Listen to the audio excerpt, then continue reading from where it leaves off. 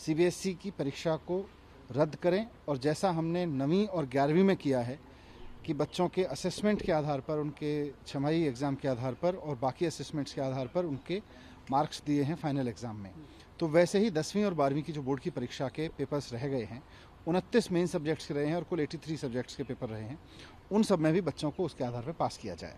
तो ये तो मैंने उनको एक सुझाव दिया था। दूसरा सुझाव मैंने उनको ये दिया है कि अब क्योंकि काफ़ी समय बच्चों का लॉकडाउन में बर्बाद हो गया है।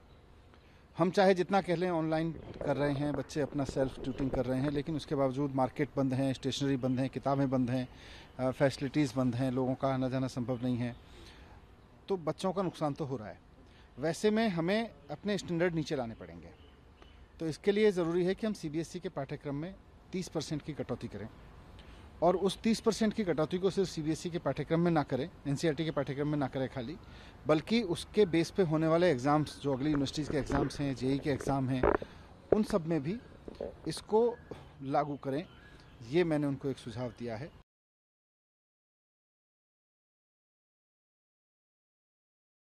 हम सीबीएसई की परीक्षा को रद्द करें और जैसा हमने नवीं और ग्यारहवीं में किया है कि बच्चों के असेसमेंट के आधार पर, उनके छमाही एग्ज़ाम के आधार पर और बाकी असेसमेंट्स के आधार पर उनके मार्क्स दिए हैं फाइनल एग्ज़ाम में। तो वैसे ही दसवीं और बारहवीं की जो बोर्ड की परीक्षा के पेपर्स रह गए हैं, उनतीस मेन सब्जेक्ट्स के रहे हैं और कुल 83 सब्जेक्ट्स के पेपर रहे हैं, उन सब में भी बच्चों को उसके आधार पर पास किया जाए।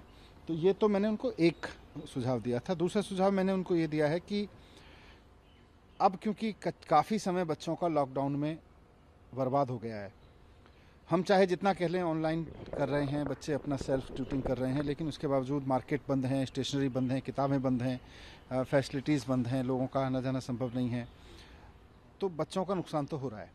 वैसे में हमें अपने स्टैंडर्ड नीचे लाने पड़ेंगे।